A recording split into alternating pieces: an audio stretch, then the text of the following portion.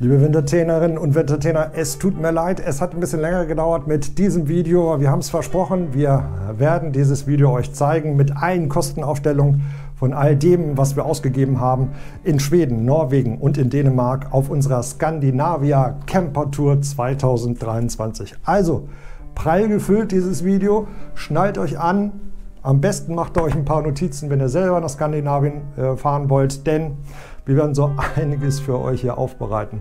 Aber es geht am Ende, am Teil 2 in diesem Video, tatsächlich um alle Kosten transparent. Was haben wir ausgegeben für Maut, für Fähren, für Stellplätze, für Lebensmittel und so weiter und so weiter. Im ersten Teil von diesem Video sind wir euch noch schuldig, den letzten Teil der Route Skandinavia Camper Tour 2023 von Norwegen aus, herrlich, von Norwegen aus Richtung äh, Schweden und dann mit der Fähre nach Dänemark. Also picke, packe voll und so voll, dass ich mir tatsächlich zum ersten Mal für ein Video ja auch richtig Notizen in die Hand nehmen muss. Äh, wir werden über das WLAN sprechen, über die Maut und Fähren, über ja, das Tanken und äh, noch etliche Tipps. Auch die Einreise mit dem Hund ist ein Thema. Uns erreichen ganz viele Fragen immer wieder und immer wieder und die wollen wir hier so ein bisschen zusammenfassen in diesem Video. Ich hoffe, ihr habt Spaß dran, bleibt dran. Am besten holt euch was zu schreiben, denn es wird wirklich interessant. Also, ja Freunde, während ich für euch noch so ein bisschen rechne hier, äh, würde ich mal sagen, ihr schreibt einfach mal in die Kommentare, was das Ganze wohl so gekostet hat. 35 Tage waren wir mit unserem Summit unterwegs, knapp 8000 Kilometer sind wir gefahren, zwei Personen und ein kleiner Hund. Also ich bin sehr gespannt, was ihr so schätzt. Also jetzt in die Kommentare schreiben, denn jetzt kommt erstmal der letzte Teil der Route Skandinavia Tour 2023 und ich bin gespannt, was hierbei tatsächlich am Ende des Tages rauskommt. Jesus. Viel Spaß!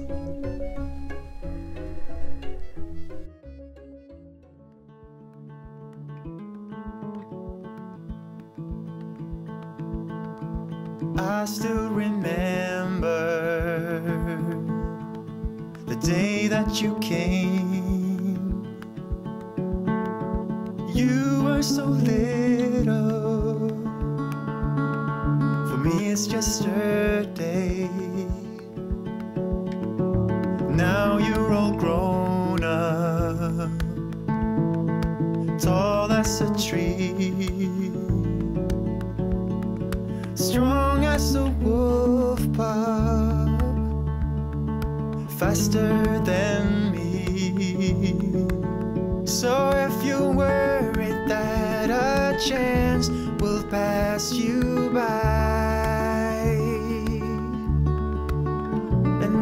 standing on the sidelines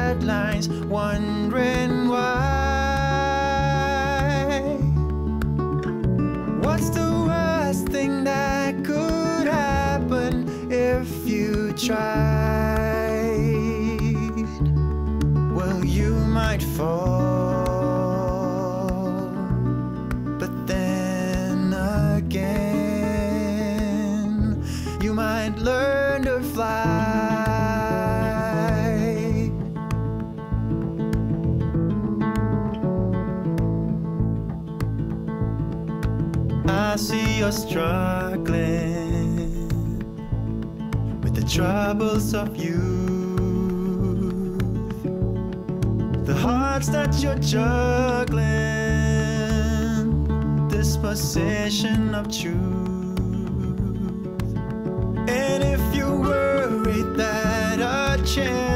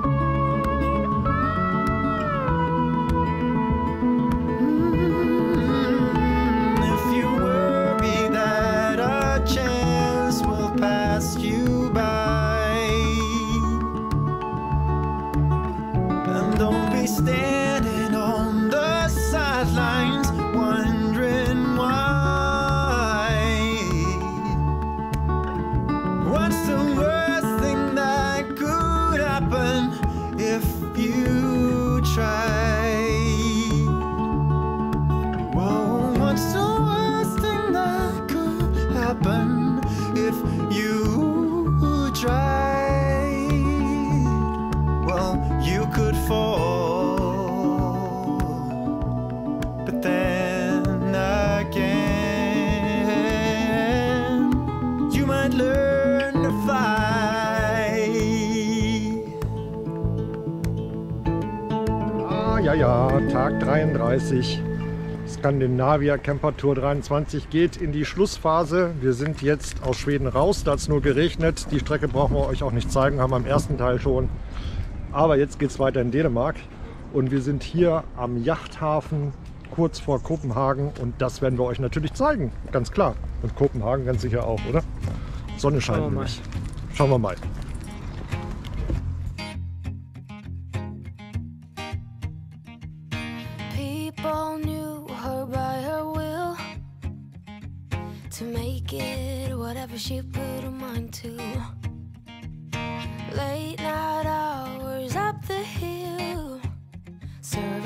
Coffee strangers, talking about revenue. She kept dreaming of a world big enough for everyone. But she knew it must rain before it grows.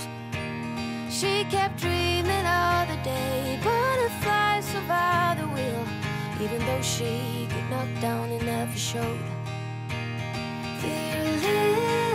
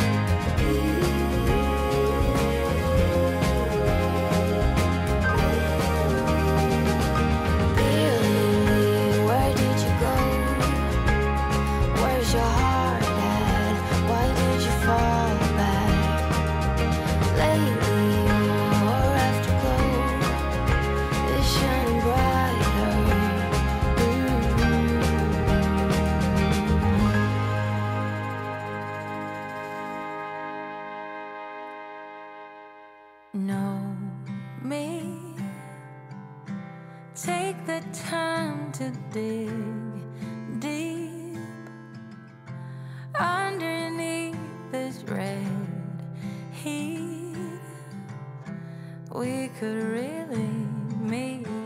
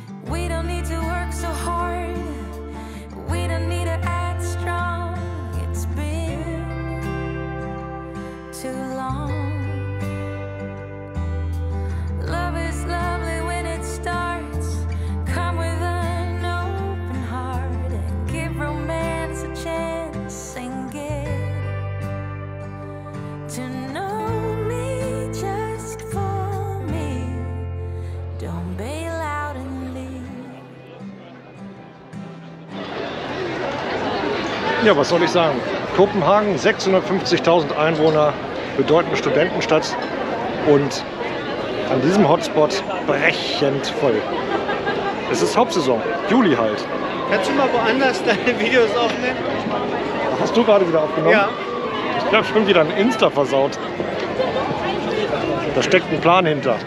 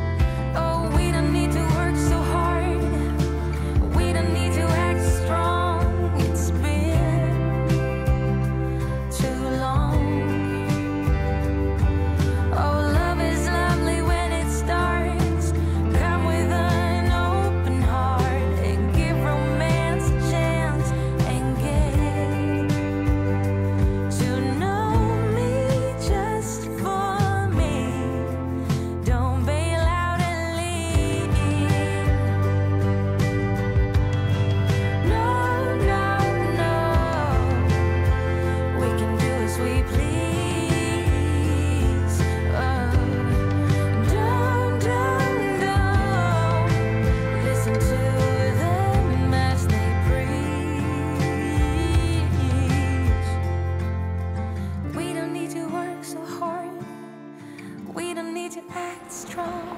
It's been too long. Yes, love is lovely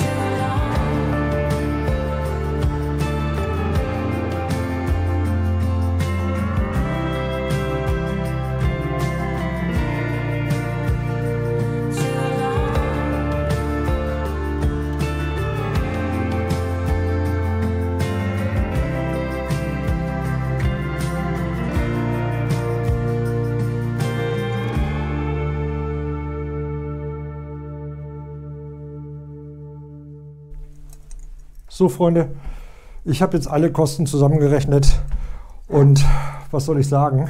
Ich brauche erstmal einen Schluck. Eieieiei, das hätte ich nicht gedacht. Und ihr? Habt ihr geschätzt, was diese Reise so gekostet hat? Ich bin sehr gespannt auf die Ergebnisse. Wir gehen jetzt voll in die Zahlen. So, liebe Regie, kann ich mal ein bisschen mystische Musik haben und Spannungsmusik oder irgendwas in der Richtung? Weil jetzt kommen die Zahlen und die werden wir jetzt nach und nach einblenden. So, und ich muss das ablesen. Hier haben wir Diesel 1476,73. Wir sind knapp 8000 Kilometer brutto gefahren. Lebensmittel seht ihr über 1000 Euro Non-Food und Souvenirs. Da sind wirklich Souvenirs dabei wie die Lofotentasse und äh, mein Armband, was ich unten habe und so ein paar Kleinigkeiten. So viel haben wir gar nicht ausgegeben. Stellplätze parken war nochmal ein Faktor. Wir waren ja vier Tage insgesamt auf dem Campingplatz. Zwei Tage davon eher ungewollt, weil ich erkrankt war zwischendurch. Ihr habt es vielleicht gesehen im Video. Und äh, was haben wir dann noch? Mautfähren, da kommen wir aber gleich nochmal genau zu. Und äh, ja, Tierarzt für den Hund. Das sind alles die Positionen, Einzelpositionen, die wir hier haargenau für euch anhand der Vielzahl von Quittungen errechnet haben.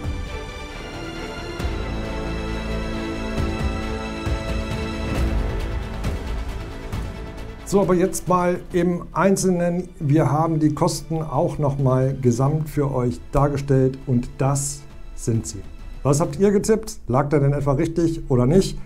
Hinweis zu diesen Kosten, es sind keine Zigaretten und Tabakwaren da drin und wir haben Alkohol mit eingerechnet.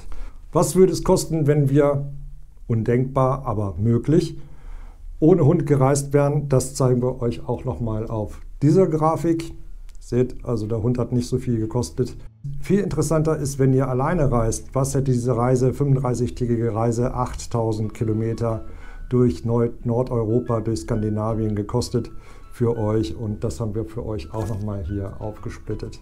Dann immer wieder die ja, Gretchenfrage, ist Norwegen teuer? Man muss dazu zwei Faktoren einfach verstehen. Im Preisindex der Lebensmittel liegt Deutschland im europäischen Mittel. Norwegen allerdings im europäischen Vergleich auf Platz Nummer 2 gleich direkt hinter der Schweiz. Das bedeutet, die haben die höchsten Lebensmittelpreise. Und wie kommt das?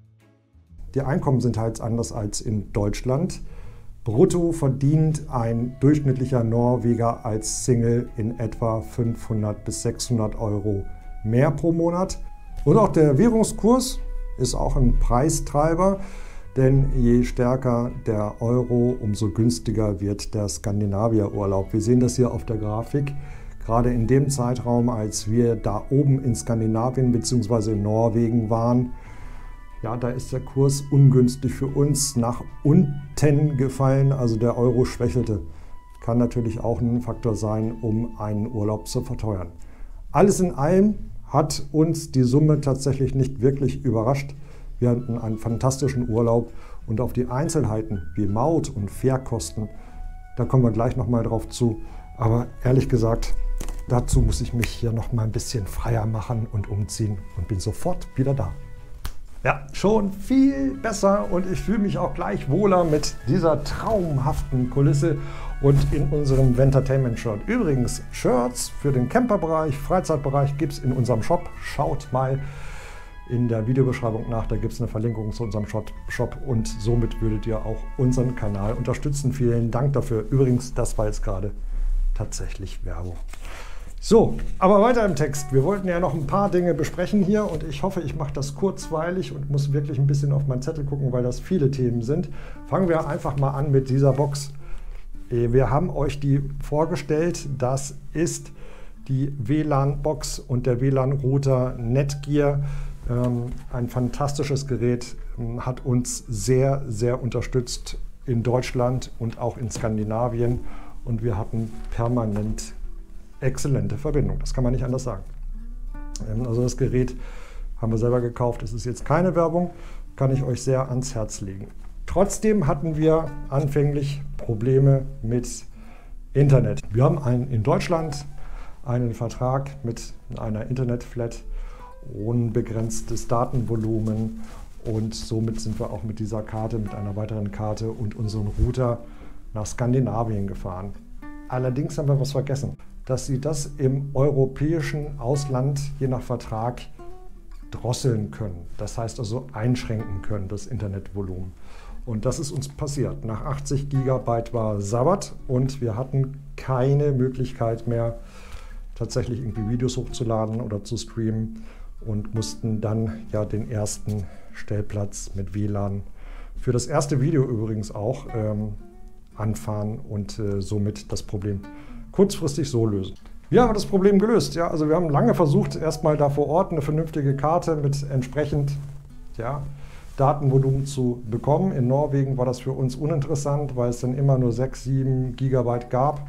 Äh, das ist lächerlich. Also das ist noch einmal ein halbes Video, wenn ich das hochgeladen habe für YouTube, dann ist das verbraucht und wir streamen ja tatsächlich auch ja, Filme und Fernseh und Musik und Radio und äh, machen alles äh, irgendwie übers Datenvolumen. Ähm, das war also ein bisschen schwierig und hatte mich wirklich auch am Anfang unserer Reise in Norwegen unter Druck gesetzt, weil ich ja die Videos bearbeiten musste und auch hochladen wollte. Das Problem war relativ einfach gelöst. Äh, tatsächlich habe ich eine alte oder schon ziemlich lange eine O2 Prepaid Card und äh, mir kam in Erinnerung, dass sie gerade ein Angebot haben, 999 Gigabyte für 69,99 glaube ich oder 69,90 in vier Wochen zu verbrauchen. Und das habe ich einfach gebucht und äh, habe gehofft, dass die dieses Datenvolumen eben im europäischen Ausland nicht reduzieren. Und haben sie tatsächlich auch nicht. Und wo ich wirklich sehr überrascht war im Zusammenhang mit dem Netgear, hatte ich exzellenten Empfang und das, die Uploads äh, unserer doch sehr umfangreichen Videos ging problemlos.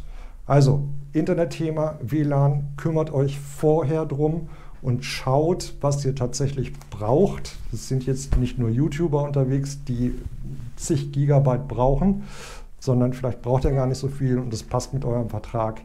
Ähm, aber die ersten 80 Gigabyte waren relativ schnell von unserem Haus- und Hofvertrag von der Telekom in Norwegen verbraucht. Und wir konnten da auch nichts vernünftig nachbuchen. Zum Zoll haben wir ja in dem Skandinavier-Video vor Abfahrt schon alles Notwendige gesagt. Ich verlinke euch aber in diesem Video nochmal die App zum Zoll für die Einreise nach Norwegen. Da ist ein Rechner hinterlegt, da könnt ihr wirklich ausrechnen lassen, was ihr tatsächlich mitnehmen wollt äh, und beziehungsweise was ihr nachverzollen müsst.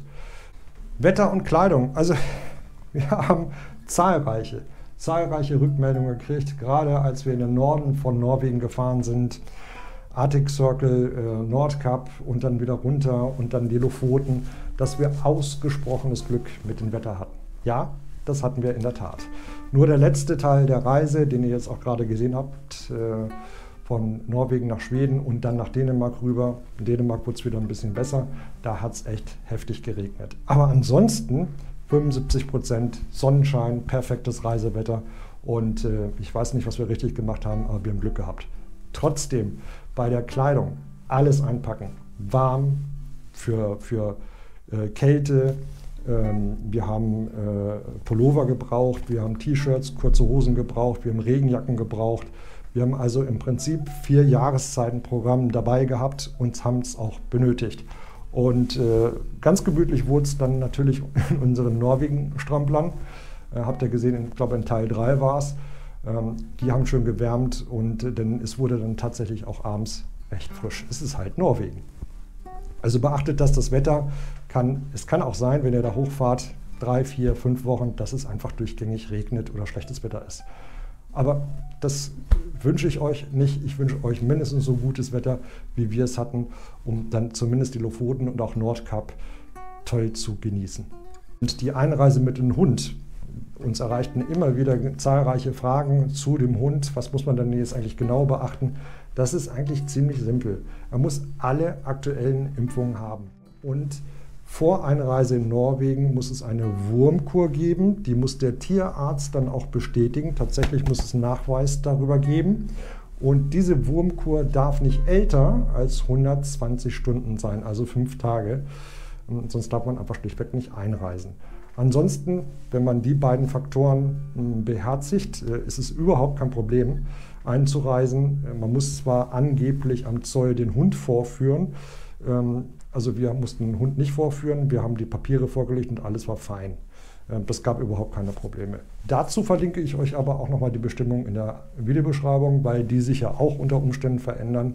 Und ihr seid ja immer auf den aktuellen äh, Stand, wenn ihr da einfach mal draufklickt. Jetzt aber weiter bei der Kostenrechnung. Eine leidenschaftliche Frage ist ja immer Maut- und Fährkosten in Norwegen.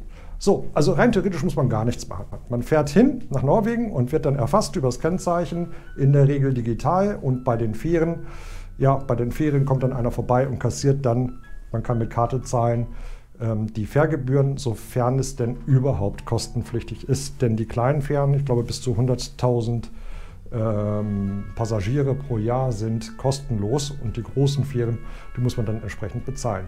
Der Nachteil dabei ist, wenn man nichts unternimmt und einfach so losfährt, das kann teuer werden, gerade bei den Fährverbindungen.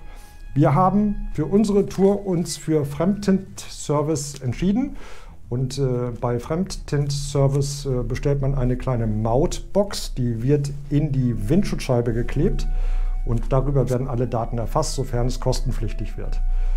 Ähm, auch die Fähren übrigens äh, werden darüber erfasst, die kostenpflichtig sind, zumindest wenn sie im Vertrag mit dem Anbieter stehen. Das ist für uns gut gelaufen. Wir haben eine sehr detaillierte Abrechnung gekriegt mit allen äh, Fährverbindungen und haben auch Geld gespart tatsächlich. Also mindestens bei zwei Fährverbindungen, einmal von der Insel Senja äh, Richtung Lofoten ähm, an Dennis ähm, und dann wieder zurück aufs Festland von den Lofoten haben wir ungefähr 50 Euro gespart gegenüber dem Normalpreis. Aber das geht noch besser. Also wenn ihr eine Tour plant nach Skandinavien, insbesondere nach Norwegen, und ihr wisst, ihr seid beispielsweise gezielt in den Lofoten unterwegs und habt eh einige Fährverbindungen, dann lohnt sich Autopass. Das blende ich einfach mal ein. Das ist ein System auf Prepaid. Hier müsst ihr vorab ein Guthaben einzahlen. Ich glaube, es sind 3000 norwegische Kronen, roundabout 300 Euro äh, mindestens. Ähm, und von dem Guthaben wird dann alles abgerechnet. Und da spart ihr definitiv bis zu 50 Prozent. Ziemlich genau sogar, im größten Teil 50 Prozent an Fährkosten. Das lohnt sich auf jeden Fall, je nachdem, wie und wo ihr reisen wollt. So, jetzt muss ich noch mal gucken auf meinen schlauen Zettel. Und ich glaube, WLAN, Lebensmittel haben wir besprochen, Tanken, Zoll, Hund, Wetter, Kleidung. Und was gibt es sonst noch zu sagen? Ja, also Norwegen, Skandinavien, Schweden, Dänemark, diese Campertour, fünf Wochen, 35 Tage, war natürlich eine Traumreise. Und viele haben uns schon gefragt, war das jetzt eigentlich die Traumreise schlechthin? Das ist schwer zu sagen. Also wenn ich an letztes Jahr denke, die Frankreich-Tour, die nur drei Wochen, allerdings dann die Atlantikküste, Bretagne runterging und dann nach Nancy und Annecy. Ähm, Das war auch ein Traum, gar keine Frage. Und das Jahr davor, Österreich, Schweiz, Italien, äh, Mont Blanc, all das war auch ein Traum. Trotz alledem ist, glaube ich, für Camper und äh, für das liberale Verhalten dort in Norwegen Norwegen ein Traumziel für alle, die vier Räder unterm Hintern haben und mit einem Wohnmobil oder Van oder vielleicht auch Wohnwagen unterwegs sind. Ich will mir jetzt auf jeden Fall mal eure Kommentare angucken, ob ihr jetzt richtig gelegen habt mit der Schätzung der Kosten für diese 35-tägige Reise äh, durch Schweden, Norwegen, ja, Dänemark und dann wieder zurück nach Hannover mit zwei Personen und einem kleinen Hund und bin sehr gespannt auf die tatsächlich auf die Ergebnisse. Zum Schluss, was soll ich sagen? Mich hat es wahnsinnig gefreut, dass bereits jetzt schon 15.000 Klicks auf die Skandinavia Camper Tour zu verzeichnen sind und äh, auch das halten wir transparent. Es gab jetzt schon durch Werbung Werbeeinnahmen für die Videos von etwa 100 Euro. Also immer weiter klicken und unsere Videos schauen und ertragt so ein bisschen Werbung dabei. Das finanziert uns zum Teil auch unsere tollen Reisen, die wir gerne, sehr, sehr gerne mit euch teilen. Ich sage wie gewohnt Servus und Ciao, gute Reise für euch. Habt ihr Fragen? Fragt. Ansonsten bleibt gesund und allzeit gute Fahrt. Tschüss.